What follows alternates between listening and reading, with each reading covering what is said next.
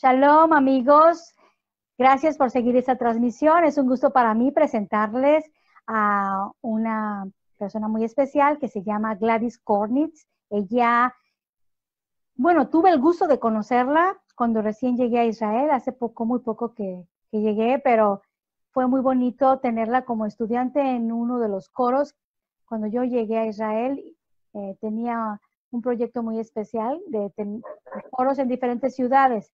Y ahí la conocí, conocí su luz, su talento, y en este momento la quiero presentar como una de las colaboradoras en la parte de salud, lo que tiene que ver más bien medicina natural. Y ella es de Argentina, tiene como 30 años viviendo aquí en Israel. Y, y bueno, mejor que ella nos cuente un poco de lo que eh, a lo que ella se dedica. Ella está en Farsaba y em, es una persona muy talentosa, con mucho amor para hacer las cosas y nos va a explicar cuáles son los, los oficios o las cosas que ella está enfocando ahorita su energía para ayudar a las personas. Es su trabajo, pero es un trabajo muy, muy especial porque tiene que ver con nuestro cuerpo. ¿Cómo estás, Gladys? Hola, Netza. Aquí contenta de reencontrarnos eh, en este momento tan especial en el mundo para todos. Y bueno, eh, el mejor momento para poder eh, hacer uso de la medicina natural, que creo que eso puede salvar el mundo. Así es. Bueno, y en Israel siempre se innovan cosas y no estamos en contra de ningún descubrimiento científico o de otro tipo de medicina. Pero siempre he pensado, y creo que tú piensas igual que yo, en que el Creador nos da todo lo que necesitamos en la naturaleza para cuidar nuestro cuerpo. Y cuidar nuestro cuerpo es una mitzvah, es un mandamiento. Y, bueno, miren amigos, lo que Gladys hace, ahorita nos va a decir, eh, es kasher. ¿Por qué? Porque está eh, bien supervisado por, por consejo rabínico y todo, y sobre todo porque es natural. Por ejemplo, vamos a ver, para ser más directos, lo que vamos a estar aprendiendo con ella durante varios días, en cápsulas, tal vez meses, tiene que ver con, por ejemplo, si yo tengo un dolor, recibiría un tipo de masaje o algún otro tipo de terapia. ¿Cuáles son las terapias que tú estás manejando, Gladys? Bueno, las terapias que yo utilizo es el masaje terapéutico, la reflexología, su yoga, su yoga es también eh, una especie de trabajo como reflexología en los pies y en las manos con diferentes mapas, eh, la terapia floral a través de las flores de Bach y aromoterapia. Como vos bien dijiste, para mí es importante como creyente, eh, todo lo que hago está supervisado por mi rabino y son cosas que se pueden hacer, porque dentro de la terapia natural hay muchas cosas que se utilizan que para nosotros no están eh, autorizadas. Así es. Bueno, y entonces, por ejemplo, si hablamos de masaje, ¿qué es lo que tú haces con tus pacientes? Eh, si hablo de los masajes, los masajes se sirven por sobre todas las cosas, el masaje terapéutico, eh, se utilizan diferentes maniobras eh, en el cuerpo y en las zonas afectadas para descontracturar músculos, por ejemplo, pero sobre todo las cosas para que de, desbloquear esas zonas que están bloqueadas de la energía, de la, de la digamos, de la eh, de que fluya la energía. Eso es básicamente el dolor. Hablábamos de la energía. En este tiempo de pandemia, de cuarentena, de momentos difíciles, nosotros tenemos que enfocar las cosas a algo positivo. Y todo repercute en nuestro cuerpo y el cuerpo es el donde guardamos el alma y el alma es lo que tiene que estar feliz.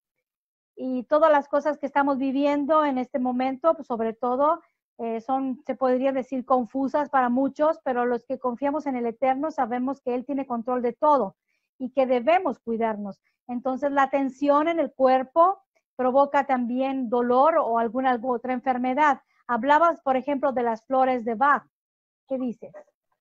Las flores de Bach eh, son energía de flores. El doctor Bach, que era médico, homeópata y también investigador, a través de, atender tantos pacientes, hizo una observación de que eh, los, eh, los enfermos enfermaban primero de las emociones y después del cuerpo. Y era un amante de la naturaleza y empezó a estudiar determinadas flores y vio que las flores tienen carácter, que, equilibran eh, determinados aspectos emocionales en las personas, como por ejemplo el miedo, como por ejemplo la tristeza, eh, la falta de energía, y son 39 flores eh, y cada una eh, atiende un aspecto diferente de la persona. Muy bien, entonces vamos a aprender sobre eso durante los próximos días y de esta vamos a tener ejemplos o va a ser muy interesante eh, entender y conocer nuestro cuerpo y conocer que la naturaleza o lo que Hashem creó nos da los remedios para que nuestro cuerpo esté en armonía y por lo tanto nuestra alma esté contenta, esté feliz. Por ejemplo, yo uso la música como terapia porque sí, soy maestra de música porque también encontré que, hay secretos o cosas eh, positivas en la música. Pero también como maestra de canto veo que el cantar, el respirar adecuadamente y como decíamos siempre en la clase, ¿te acuerdas? El, aire, el oxígeno es gratis, lo tenemos que saber utilizar. Tal vez nos puedas también más adelante hacer algunos ejercicios de respiración para tener relajación cuando no nos gusta estar encerrados o cuando salimos un momento en este tiempo de cuarentena. ¿Qué te parece? Eh, a mí me parece perfecto yo eh, siempre les digo a mis pacientes, respiren. Uno ve mucho que la gente no respira y la respiración es lo primero que nos da la vida. Cuando salimos del útero materno, y esto lo sé porque veo nacimientos continuamente, yo también soy dula y hago preparación para el parto, así que también acompaño a embarazadas. Eh, lo primero que tenemos, el, el hálito de vida, es la respiración. Es, la respiración es una terapia. Es. una terapia gratuita y puede ser usada por todos. Es un remedio. Es maravilloso. ¿Qué otra cosa eh, utilizas como herramienta para estas terapias? Eh, para las terapias utilizo piedras calientes, utilizo moxas. Moxas son, eh, pueden venir en diferentes formas, ya lo vamos a ver. se utiliza por sobre todas las cosas para quitar la humedad de la zona dolorida y para dar calor y que haya fluido de la sangre y por ende de la energía.